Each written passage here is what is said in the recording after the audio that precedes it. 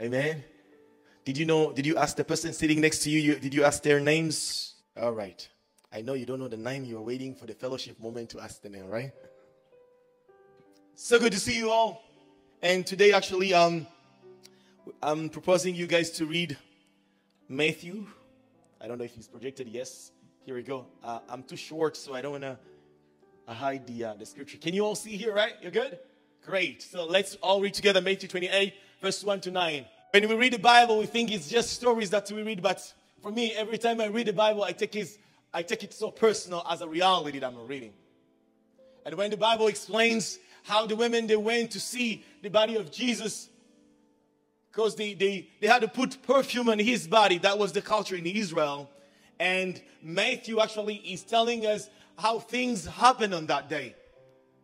And when it comes to Easter, we, we all say Jesus was crucified and then he rose again. Do you all believe that? I want to hear you guys. Do you all believe that Jesus died and rose again?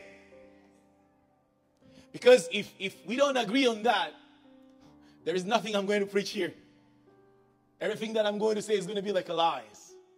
Because we have to come in an agreement and we believe that Jesus died and he rose. Amen to that? So, what is Easter? When you ask someone what is Easter, some people would say we go to church and we get eggs. It's all beautiful, right? And I'm so sure today after service there are eggs that prepare outside. Is not Mrs. Sue? Mrs. Sue, we're getting eggs, right? All right, there are going to be eggs that will be shared for each of us to take it home. But it's not only about eggs, but there is more than this. Easter should be a day where Christians would come to church or wherever they gathered and they, they, they have this image of joy because because of Easter we became who we are. Can I get an amen? If Jesus was not resurrected, we wouldn't be here. So the reason for us to be here is because he rose. I thought you were gonna do like this anyways. Only in African church they clap for that. So um based on my little research that I did, and Easter was is is called in um, Aramaic. I don't know if in Greek they call it Pascha, which is one of the um, they call it that Resurrection Sunday, and it's a Christian festival where everybody will gather together to celebrate Jesus as he rose from the dead. The New Testament shows us how Jesus on Friday, they say Friday, Easter, he went to, to Jerusalem where he knew that he's going to die. And some of the church, they will start to celebrate Easter from Friday until today on the Sunday. But um, the story doesn't finish in there. The Bible presents to us that there are two types of Easter that in the Bible. I'm so sure you all know that. There is a Greek or a Hebrew or Jewish Easter, and there is also Christian Easter. So the Hebrew Easter began when the Israelites or the Hebrew at that time they were in slavery in Egypt. And remember when Moses went to see Pharaoh, and God is telling, is sending plagues to uh, Pharaoh, you know, like all the plagues. And in the last plague that God sent, and He says, This is going to be the last one, and Pharaoh will let you go to the promised land. And God says this I want to kill, or I'm going to kill every firstborn of Egyptians. And this is going to be a lesson to Pharaoh. However, for you, I'm going to treat you differently. And the Lord say, everyone should kill a lamb or you should kill one animal which is one year old and you put the blood at the door of your house. And this blood will be my covenant between you and I. In another word, it says, for me to keep my promise to you, I want you to put the blood of the door of each house where Hebrew people are living in. And when you read Exodus chapter 11 and 12, the Lord is saying to Moses, This is going to be a covenant between you and I, and you shall celebrate, you shall remember every time. And it happened to be the first day of April based on the calendar. This is why when Christianity comes, Jesus was going to Jerusalem to die. He knew that he's going to die. And on the Friday before Easter is the day when Jesus is gathering with his disciple and sharing the Passover. So for us, Christians, we focus on what Jesus did with his disciple before he died. Can I get an amen? Are you following me? I need to I need to to put some background so that we all know where we are coming from and where we're going. So um I was saying that that's the difference between the two Easters that exist in the Bible. There is one Jewish Easter, and there is another one, the Christian Easter, what we celebrate right now because of what Jesus did. But the Jewish Easter happens when they were in Egypt, and every first of April, they will gather and they will celebrate together. Or they remember what the Lord did for them in Egypt.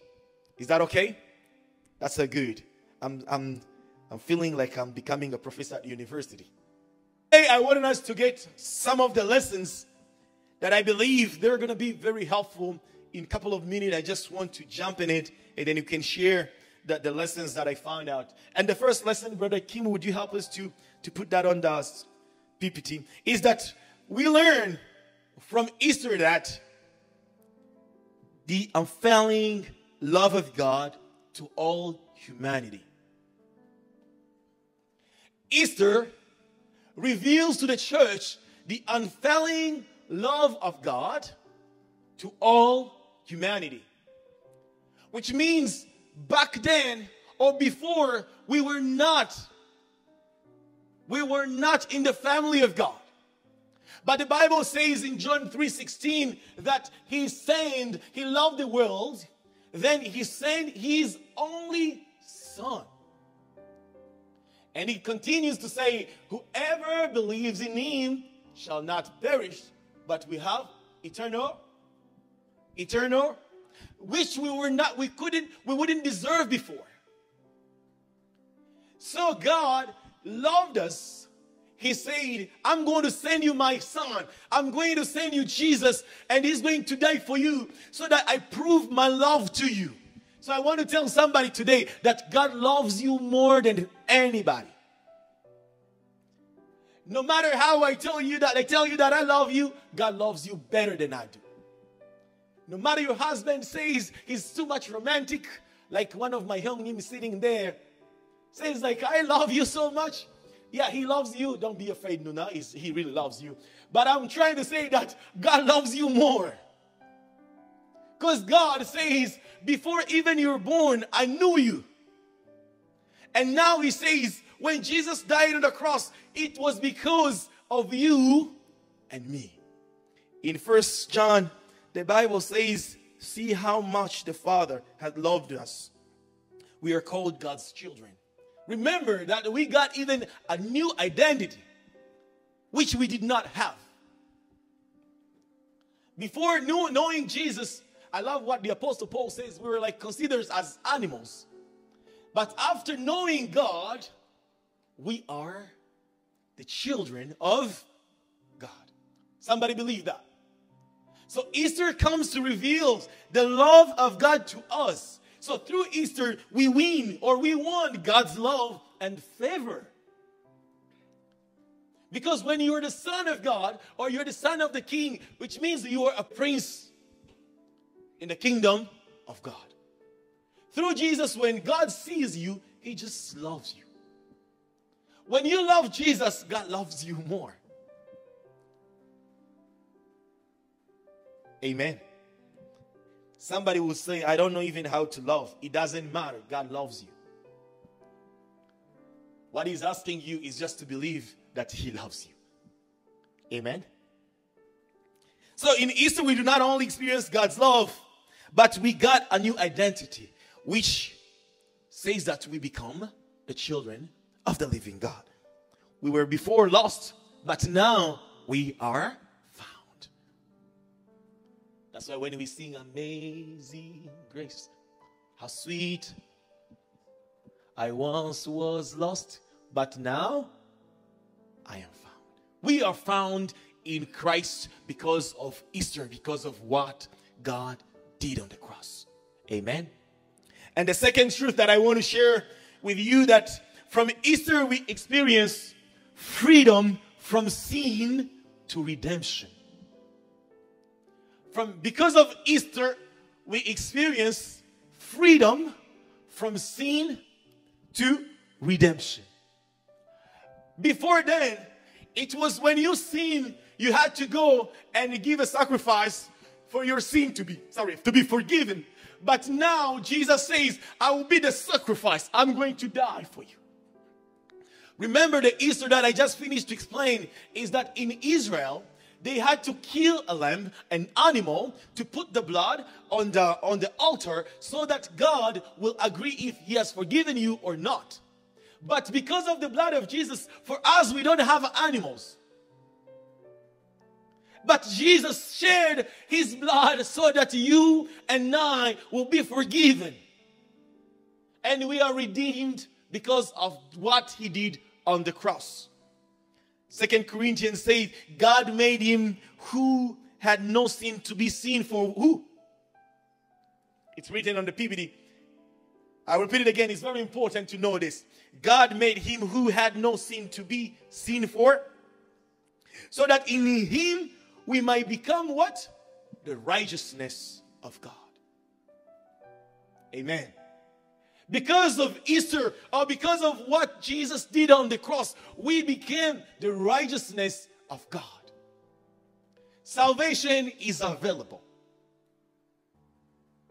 He says, Come to me, all you weary, and take my yoke. It's easy. No matter how many sins you committed, God says today, I was crucified on the cross for you to be saved, for you to be forgiven. John 8 36. I want just to focus on the last verse that says, 36 that says, So if the Son sets you free, you will be free indeed. So if the Son sets you free, you will be free indeed. In another word, says, no matter how many sins you committed before, when Jesus sets you free, you are free indeed. When you ask for forgiveness, God forgives you. I love what one of the prophets say. Um, it's Joel in the Bible. The prophet Joel says, He's a God who forgive your sin and forget it. Isn't it beautiful? When you say, Lord, forgive me for what I've done, he says, I forgive you. And the Bible says he forget about it. Only us remember our sin, but God doesn't. So I want to tell you this is an important message is that once you have confessed one sin, don't repeat it again because the Lord says it's already over. It's already over. Be free in Jesus' name. Amen. And the last, the, the, the, the third lesson is that through Easter we experience the power of God and the assurance of our salvation. I wish I had enough time to explain this more. Is that the Bible says that God rose Jesus from the, uh, the tomb with his power, with the power of God, he rose Jesus in there. So, with the same power that lives or that rose Jesus from the dead, when you become son of God or children of God, we get the same power. There is a song that says, The same power that conquered the graves lives in me. The same power that resurrected Jesus is what lives in me. And I want to tell you and I today is that you are a powerful person. Sin has no hold on you. You are more powerful than the devil. You are more powerful than whatever you think it is. Can I get an amen? We have to believe that God gave us the power. In Matthew 28, verse 18, Jesus is saying, Then he came to them and said, All authority in heaven and on earth has been given to me. Therefore, go and make disciples of all nations, baptize them in the name of the Father, the Son, and the Holy Spirit, and teaching them to obey everything I've commanded you. And surely I am with you always to be to the very end of the ages. Says all the authority has, give, has been given to me. And when you read more down here, you will see that the Bible says that when we become children of God, the power as well is given to us. To us. To us. Amen. John, I think I put it in the John down here. I'm going to read it again, but in John 1, uh, 112, the Bible says, But to all who believes in him, he gave them to the power to become children of God. And it's not your will, it's God's will. Once you belong to his family, whatever you ask as the prince of the kingdom of God, he gives it to you. Because of what Jesus says. And the assurance of the salvation. Actually, when we speak about salvation, I've been saved. I am saved. And when you ask someone, you're saved, it says, yes, saved. What does that mean? What would be the definition or the meaning of being saved? Salvation means is to be saved from sin and all his consequences. To be saved from sin and all the outcome that the sin can produce in us. When you say you're being saved, it means like you're in danger, and someone say, I am going to kuhe you. Kuhada is what you call in Korean, right? You've been saved from something to be put in a safest place. And this is what the Lord did. Jesus died to the cross on the cross so that he takes you to not go to hell and brings you to the family of God. And this is what we call salvation. Does anyone believe that you belong in the family of God here? Just raise your hand if you believe that you belong in God's kingdom. Thank you so very much. And the last thing that I'm going to share is that salvation is a free gift.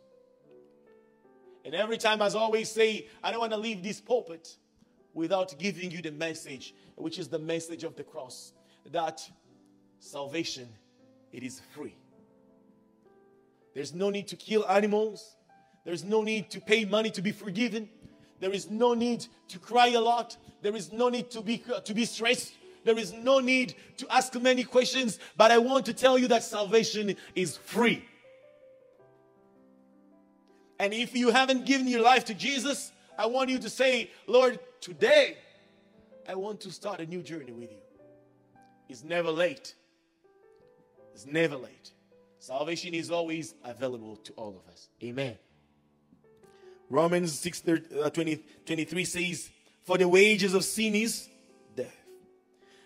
But the free gift of God is eternal life in Christ Jesus our Lord. When you believe Jesus, you're saved. And it's not only being saved, but there is life after this life that we are living now. Do you all believe that? Do you all believe that? I met some people, they told me, like, when I die, I want to become a kangaji. Someone told me, when I die, I want to be a tree. And the other says, I want to be a flower. And they ask me, What about you? Then I say, I'm going to be living again. Some people they believe in incarnation. When you say like you believe in incarnation, which means after you die, you become something else, it is also life. That means you continue to live. It's okay for you. If you want to be Kangaji, that's your business. But for me, I believe that one day I'm going to live with Christ Jesus in heaven and we are going to celebrate the Almighty God with Him. So, beloved, I want to remind you that there is life after this life. We live for a mission, and it's very short. Very short. Don't think or do not believe that everything we see now, that's all that exists. There is more, more, than what we see, than what we have right now.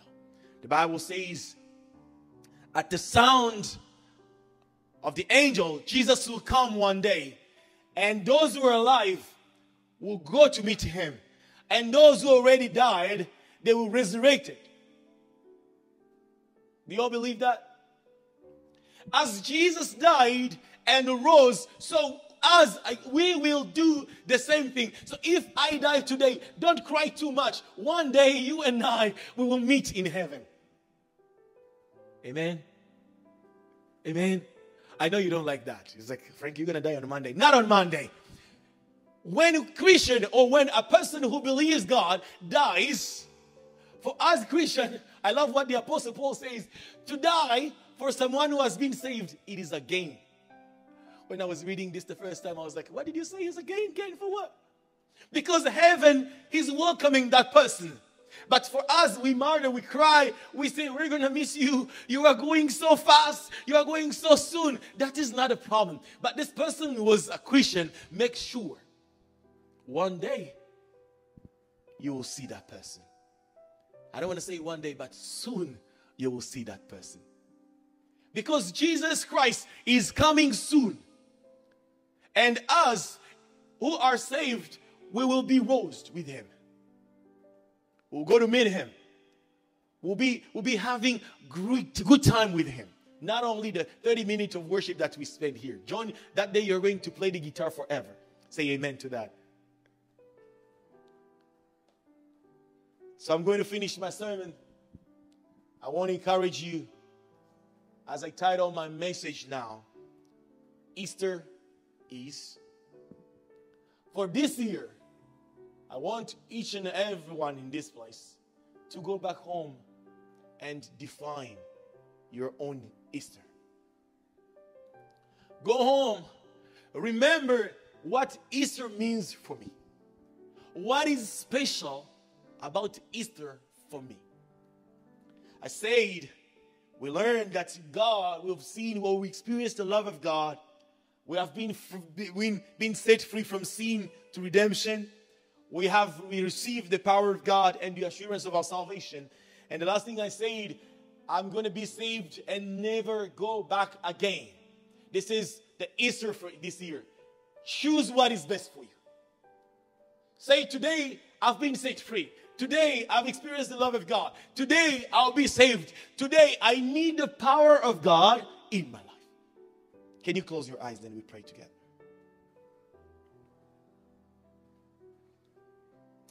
Lord God, we, it's not only about what we just say, but the Holy Spirit, I pray that you continue to teach us to know the will of God, to obey you, to do what you ask us to do, to trust you more and more. That's the desire of our heart. So, Lord God, as you rose from the dead, we first want to believe that it's true that you're alive, you live forever. We want us to believe that God raised you from the dead. And as you've been resurrected, we will also be rose with you. We want to believe, God, that you did this not because we deserve it, but you did this because you love us. We don't deserve your love, but God, you chose to love us. And we are so grateful. We want to believe that we have been set free from sin. We got the freedom in the kingdom of God, and we belong into your family. We've been redeemed because of what you've done in the cross. Lord, we want to believe that through your death, your, your death and resurrection, we got the power. The power that the Bible says that when we become the Son of the living God, we got the power to be called the, the children of the living God, the Almighty God. And Lord, I want to pray that whoever never experienced salvation in this place, Lord, may you give all of us the grace so that we may trust you, we may believe you, we may know you more and more. Let not just this Easter just pass us by, but Lord, we want to get more close to you. To love you more and more than ever before. We love you, Holy Spirit. And we trust you. We pray in the mighty name of Jesus Christ. Can somebody say amen? Amen. Amen. Amen. That was so beautiful. Happy Easter.